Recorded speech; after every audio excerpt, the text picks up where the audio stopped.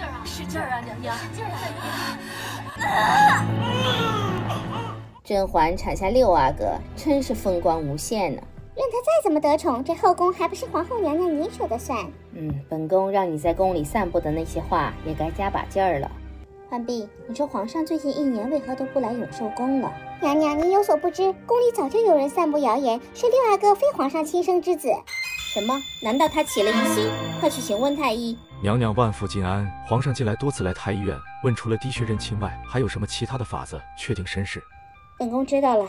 近来皇上龙体可好？回娘娘，皇上怄气，夜夜召幸新人，已是虚不受补，整日卧床。好啊，看来是时候了。臣妾给皇上请安。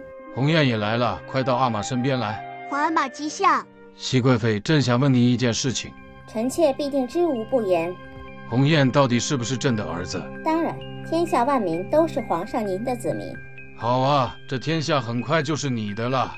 这天下自然是鸿雁的，但他绝不会同你一样，因为我早就让他在这游戏里体验过了。叫我万岁爷手游现在和《甄嬛传》梦幻联动，沉浸式体验婉婉泪亲、滴血认亲等名场面。你在后宫踩过的坑，我会一一给鸿雁避雷。你以为人人都会像你一样负心薄幸，到最后孩子都不是亲生的？臣妾已经让鸿雁在游戏里学会了如何治理朝政，培养名臣统御六宫，皇位早就胜券在握。大伯父，您就安心上路吧，您大侄子会帮你好好料理这江山的。鸿雁送你皇阿玛上路。你这个毒妇！